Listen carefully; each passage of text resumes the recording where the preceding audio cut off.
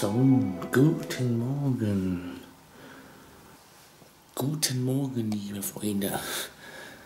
Ich habe gut geschlafen. Ich hoffe, ihr habt es auch. Heute ist der große Demo-Tag gegen Artikel 13 für ein freies Internet. Ja, auf geht's.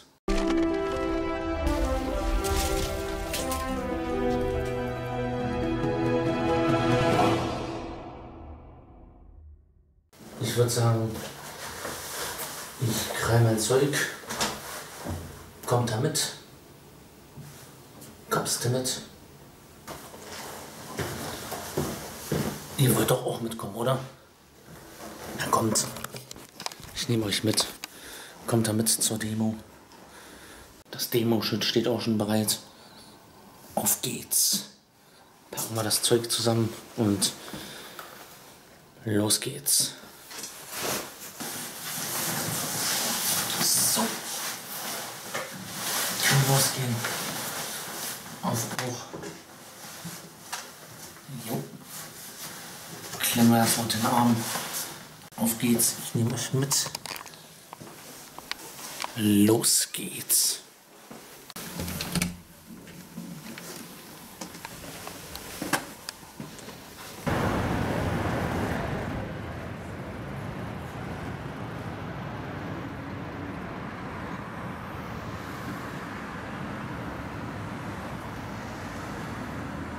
Wenn das mal nicht der Demo-Wagen ist. Das ist doch mal der Demo-Bus. Demo links. Nice. Sind doch schon ein paar Leute. Und da haben wir hier schon ein paar, die sich versammelt haben. Ja, ist noch ein bisschen früh, geht noch nicht los, aber hier haben wir schon ein paar Gesichter.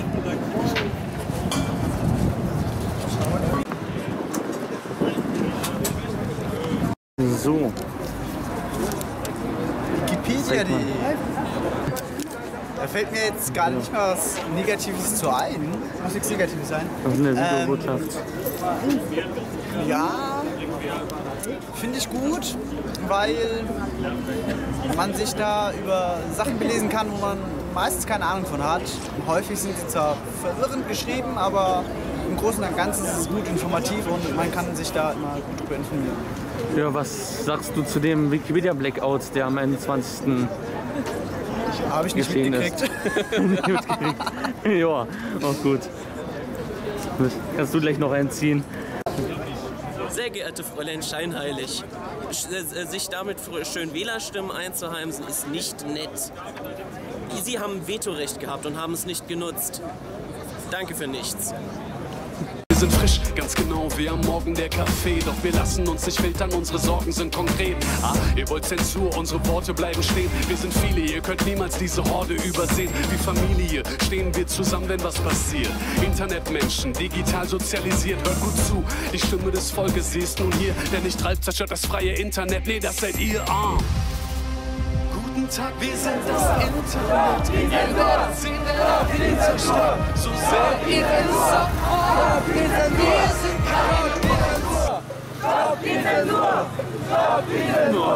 Es ist richtig geil, dass so viele Leute hier sind. Wir sind ja bis über die andere Straßenseite.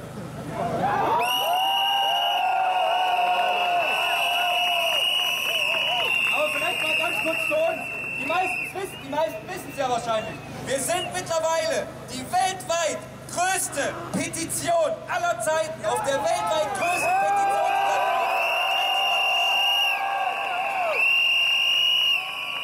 Mit all diesen wunderbaren, vielfältigen, bunten Menschen setzen wir gerade ein mächtiges Zeichen. Die Europawahl steht vor der Tür. Sehr gut. Und jeder weiß, dass am Dienstag Hunderttausende Wählerstimmen verloren werden können. und um ihre Ausbildung besser zu gestalten.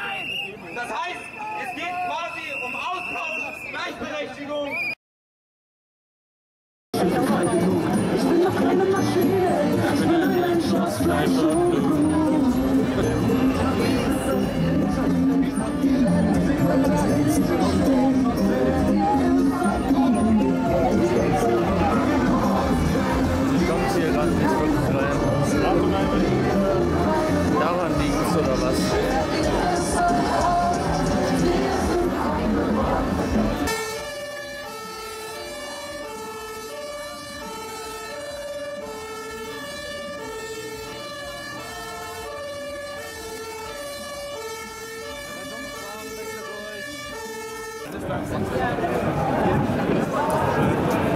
Okay, jetzt kommt auf jeden Fall Bewegung rein. Jetzt kommt Bewegung. Jetzt geht's mal voran.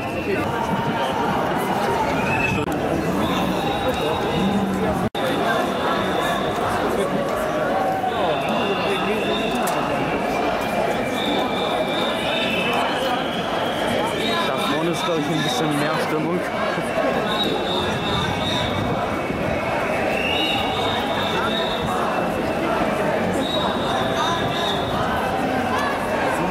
rein ich mal wieder rein ins Lied.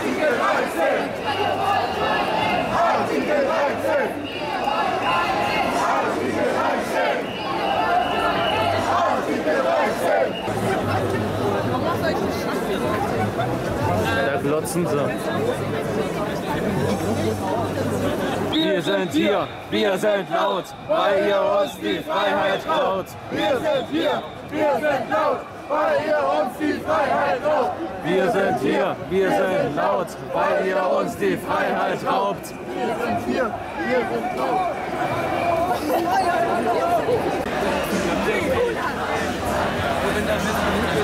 Ich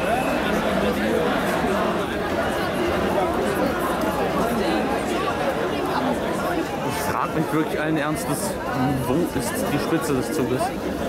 Die laufen wirklich auch ein paar neben dem Zug lang, dem Demozug.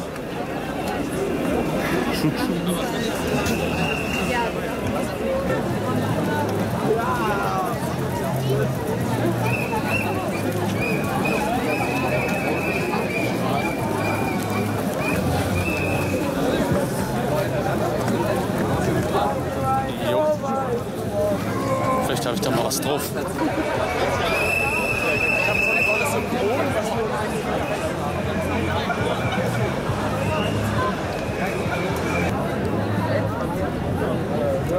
Sind so unendlich viele. So unendlich viele da vorne. Da laufen sie. Dem anderen Ufer. Alter.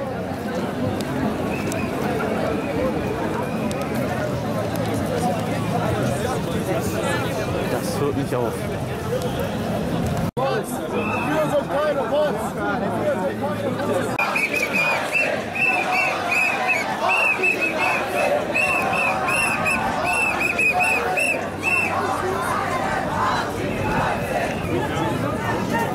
Artikel 13!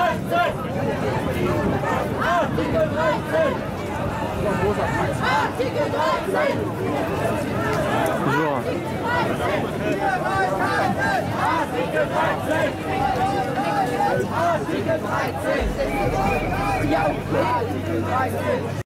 Da steht auch gerade Liv Lloyd an der Straße und ich habe meine Kamera nicht bereit. Mal was fürs Video. ja.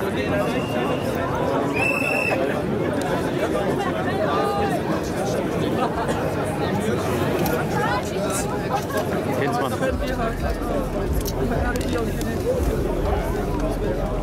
So genug gefilmt. Artikel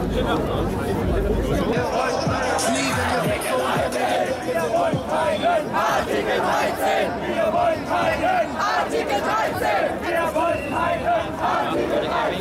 Wir wollen keinen. Artikel 13. Wir wollen keinen. Artikel 13. Willst du, dass die Pussy weiß? Wir sind raus.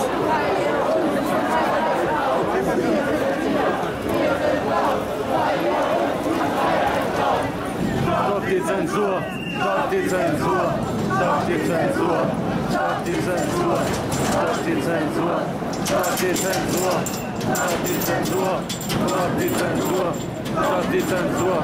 Stopp die Zensur! Wir sind hier, wir sind laut, weil man uns die Freiheit raubt.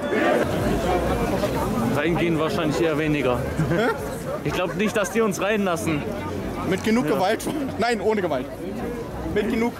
Keine Gewalt, nein, keine Gewalt, nein, hier. Wir wollen, da wollte ich sagen. Mit genug. Wenn wir genug an die Tür klopfen, die fragen Hallo.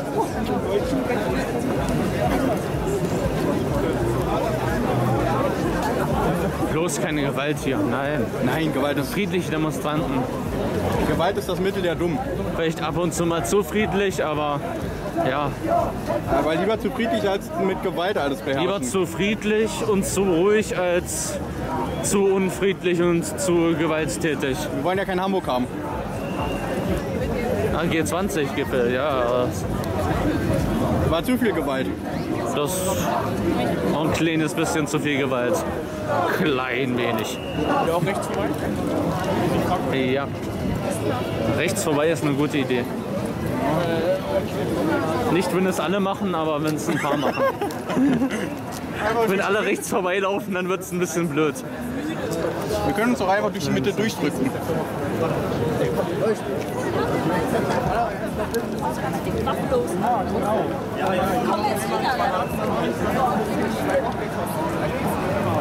Das SPD-Haus.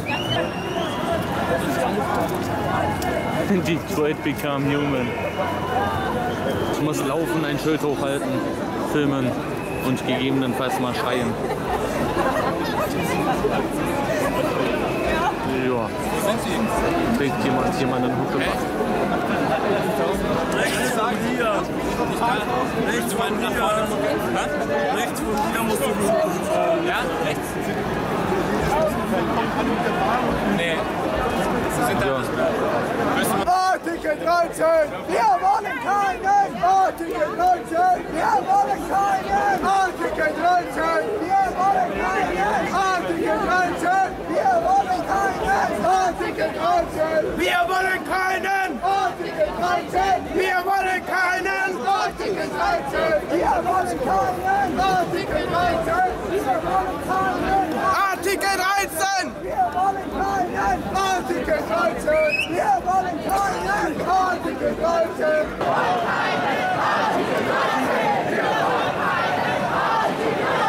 Wir wollen keinen! Artikel 13! Wir wollen keinen. Wir wollen keinen! Wir wollen keinen!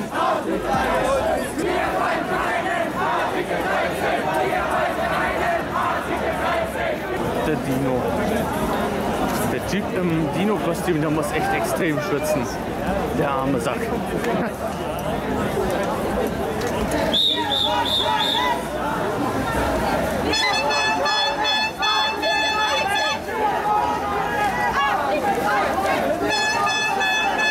Hey Dino!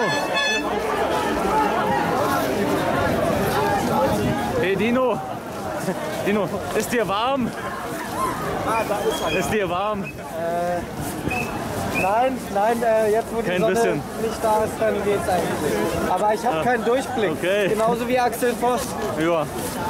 Ich dachte mir, du musst Hölle schwitzen unter dem Kostüm. Nee, es geht echt klar. Äh, wir müssen Axel Voss wohl noch ein bisschen einheizen. Ja. Na dann viel Spaß. Ja, dir auch. Cool, dass du da bist. Ja, ich dokumentiere das Ganze ein bisschen. Na, das Gebäude sieht aber hässlich aus. Das sieht mal hässlich aus. Das ist doch noch so ein altes, ist doch noch so ein DDR-Gebäude, so ein,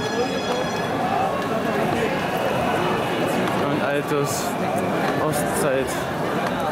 Architekturgebäude. Oder irre ich mich da? Oder ist das moderne Kunst? Auf jeden Fall sieht es hässlich aus.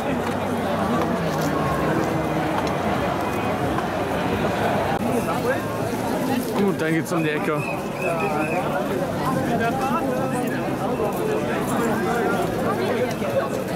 Da stehen die Autos, Polizeiautos und lenken uns in diese Richtung. Ja, um die Ecke.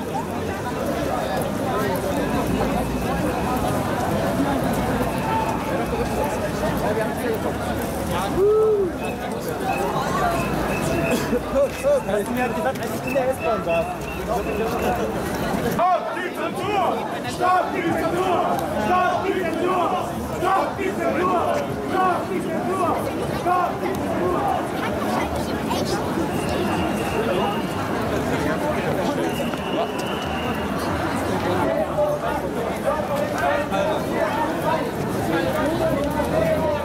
Wir haben Vorfahrt. Wir haben Vorfahrt.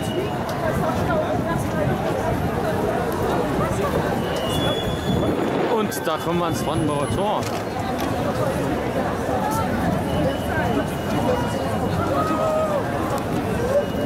Da ist das Brandenburger Tor zu sehen oder halt nicht zu sehen. Aber ja, da sind wir da.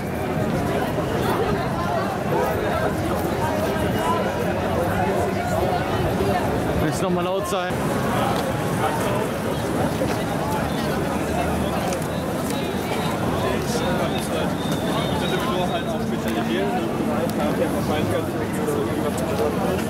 halt da weiter gehen, weil es gibt immer um Fragen immer weiter vorzuschlagen. Wir wollen keinen! Artikel 13! Wir wollen keinen! Artikel 13! Wir wollen keinen! Artikel 13! Das ist eine Botschaft hier. Wenn das kein Zeichen ist. Wir wollen ja auch gerade das Internet zensieren. Artikel 13! In Russland tut man auch gerade alles dafür, das Internet zu zensieren. Hier auf der russischen Botschaft. Das Europäische Haus, das Europahaus. Da wollen wir hin. Da versperrt die Polizei den Weg zum Bundestag, äh, zum Brandenburger Tor. Ja, da wollen wir auch gerade nicht hin.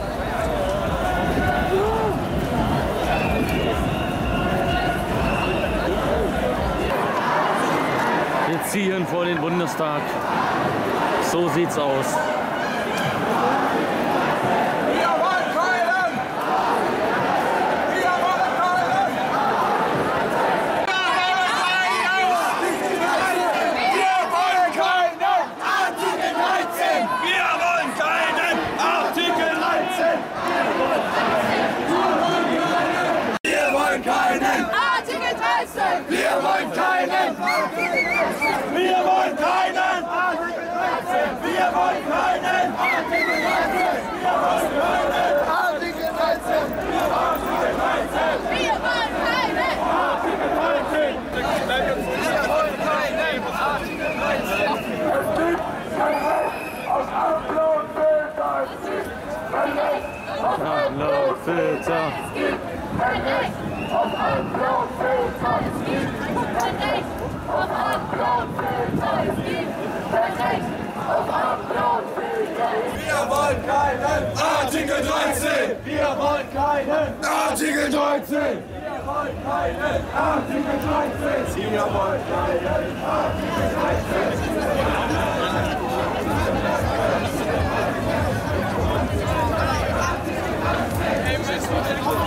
Hast du mal ein Problem? Artikel 13! Wir wollen keinen Artikel 13! Wir wollen keinen Artikel 13! Urheberrechtlich geschützte Musik.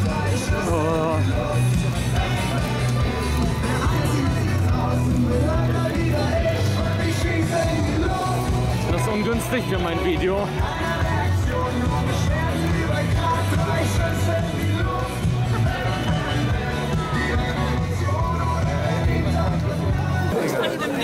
So im Rücken die Siegessäule. Ziehen wir auf das Brandenburger Tor zu.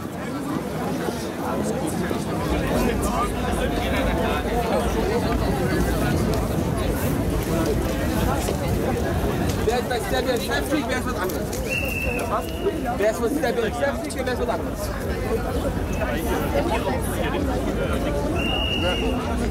Ich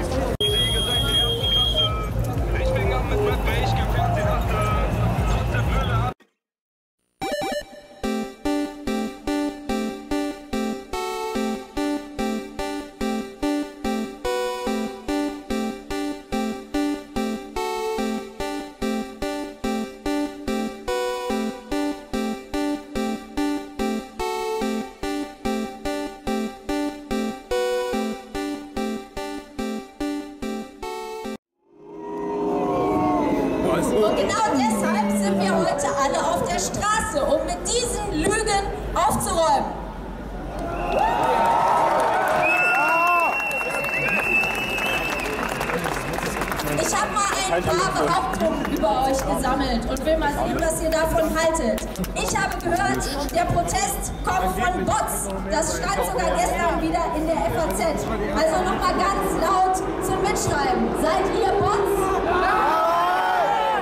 Wir sind keine Bots. Wir sind keine Bots. Wir sind keine Bots.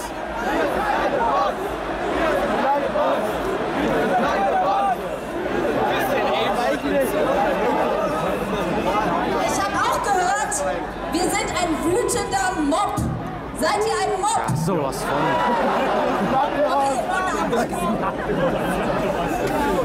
Ich habe auch gehört, wir sind von Google gekauft. Ist ihr vielleicht uninformiert, weil wir haben ja alle den Text gar nicht gelesen. Wer von euch hat Artikel 13 gelesen?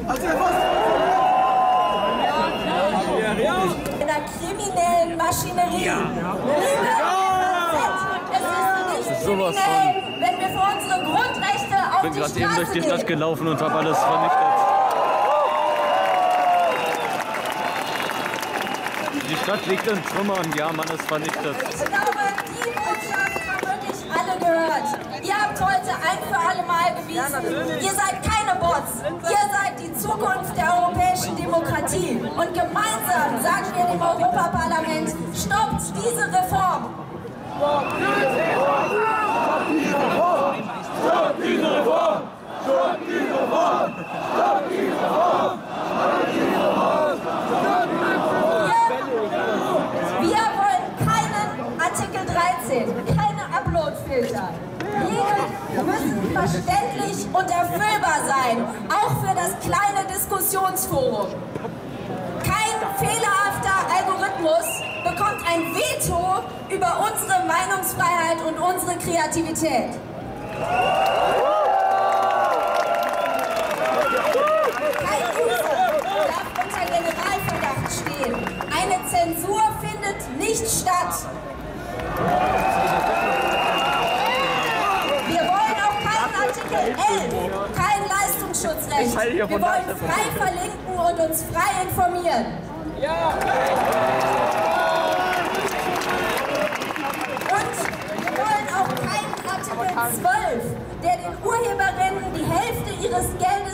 Wegnimmt, den Journalistinnen und Journalisten. Wir stehen an deren Seite.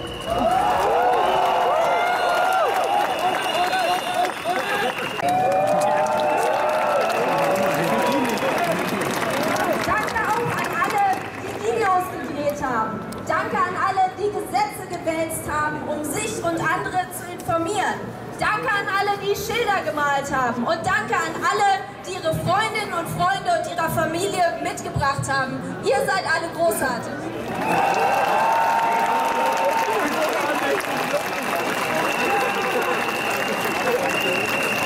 Wir sind hier, um das Internet zu retten. Und wenn das gelingt, dann haben wir mehr gerettet als nur Memes und Let's Plays. Wenn diese Reform gestoppt wird, dann retten wir auch den Glauben daran, dass Politik Ja. funktioniert, Schade, ne? dass gesagt. europäische Demokratie funktioniert und dass wir gemeinsam richtig was verändern können. So sieht's aus. Ich bin überzeugt, wenn einige meiner Kolleginnen und Kollegen Demos, Bilder von diesen Demos sehen, Videos aus ganz Deutschland, aus ganz Europa, dann werden die sich noch mal ganz genau überlegen, wie sie am Dienstag abstimmen. Gemeinsam können wir diese Reform stoppen. Dankeschön.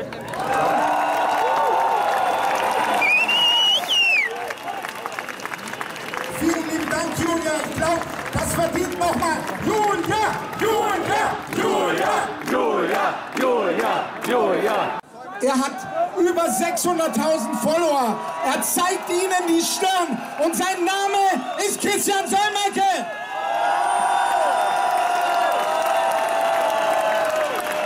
Hallo! Hallo Berlin! Hallo, ich bin Christian Solmecke, Rechtsanwalt und Partner der Kölner Medienrechtskanzlei Wildeborger und Solmecke. Hallo, ich bin Christian Solmecke, Rechtsanwalt und Partner der Kölner Medienrechtskanzlei Wildeborger und Solmecke. Und ich habe Ich habe in den letzten Wochen viel über Lobbyismus und die Funktionsweise der EU lernen müssen. Und ich fand es beschämend, wenn sich Politiker plötzlich vor dem Willen des Volkes fürchten und plötzlich Abstimmungen vorziehen wollen, nur um dann doch wieder einknicken zu müssen. Ich ich kann es nicht kapieren, wenn sich Politiker Twitter-Accounts schnappen, ohne Sinn und Verstand twittern und damit doch nur offenbaren, dass sie vom Internet überhaupt keine Ahnung haben. Diese Politiker, diese Politiker geben damit an, dass sie mehr Follower haben als ihr. Diese Politiker glauben, Google habe eingebaute Memes-Filter.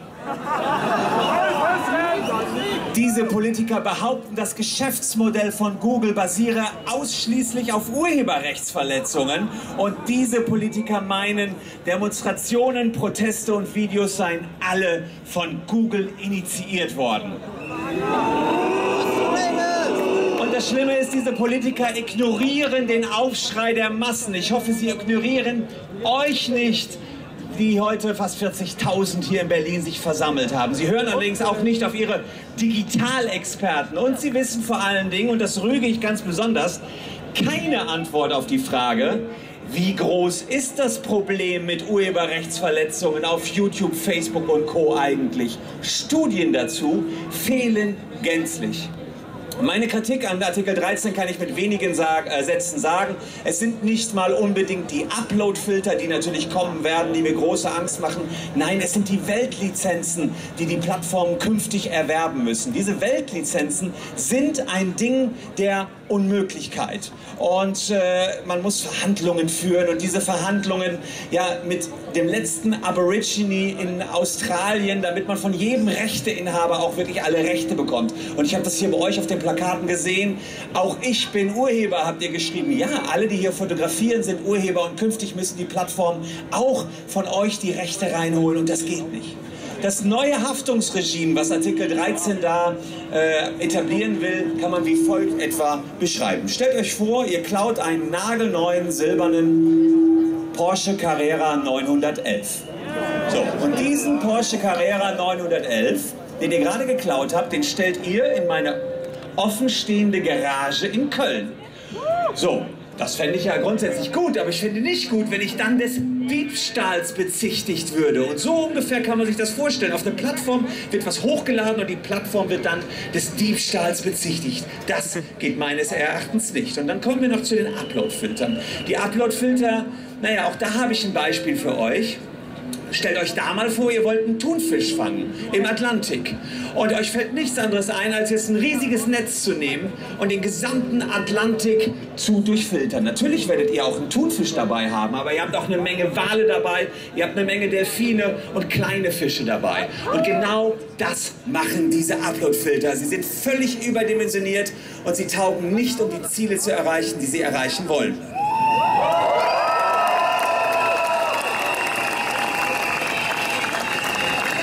Um die großen Player wie YouTube, Facebook und Co. mache ich mir übrigens überhaupt keine Sorgen. Die haben die Upload-Filter schon.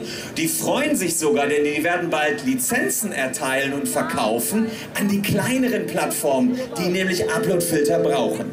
Und dann müssen die kleineren Plattformen nicht nur in Euro zahlen, sondern sie zahlen dann mit dem Gold, was im Internet wirklich zählt. Und das sind eure Daten. Und diese Daten wandern dann an Google, die noch besser wissen, was ihr alles macht. Und deswegen sagt auch der Bundesdatenschutzbeauftragte Ulrich Kelber, äh, sagt der Bundesdatenschutzbeauftragte Ulrich Kelber, dass es ein riesiges Datenschutzproblem mit Artikel 13 geben wird. Abschließend möchte ich Artikel 13 aber nicht kritisieren, ohne einen vernünftigen Gegenvorschlag gemacht zu haben. Ihr alle wisst, dass ihr euch CDs von euren Freunden kopieren dürft. Und das ist völlig legal. Und dafür gibt es auch Abgaben für die Urheber. Und diese Abgaben nennt man Pauschalabgaben. Und ich sage, diese Pauschalabgaben, die müssen wir übertragen ins digitale Zeitalter. Warum sollen nicht Google und Co. ein paar Cent abgeben pro Gigabyte Stream, der da veröffentlicht wird und diese Millionen kommen in den großen Pot der Verwaltungsgesellschaften. So hätten die Urheber mehr Geld, ohne dass wir Uploadfilter bräuchten.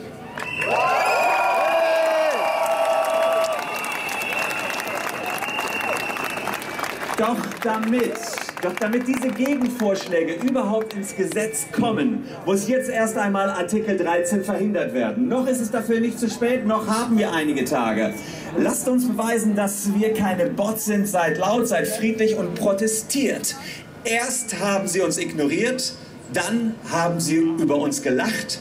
Doch jetzt kommen die Artikel 13 Befürworter an uns nicht mehr vorbei. Ich danke für eure Aufmerksamkeit.